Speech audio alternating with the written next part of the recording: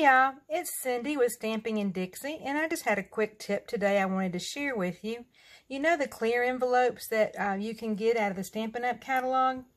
We use them a lot to store things in or to put card kits in and stuff, but they're really great envelopes and they mail well. The thing you have to remember is you want to put your address label on the outside. I always bring the flap to the front of the card, and then I can um, seal it by, I mean, I use this seal too, but then I seal it by putting a label over it.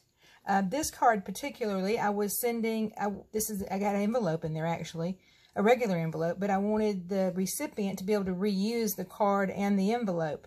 So I didn't um, want to put anything on it, but I wanted to be able to see the pretty through it. Because, you know, it's fun to get pretty mail uh, and not always just bills and stuff.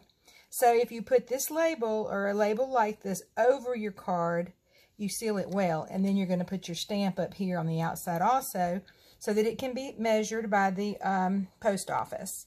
And but these do these do run through the postal service. Um, some post offices will charge you extra to mail it in the clear. Some will not. It just depends on your area.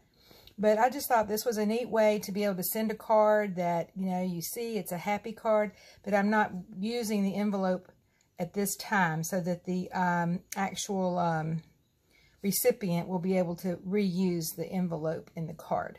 So just a quick tip. Hope y'all are having a great day. And as always, happy stamping. Bye.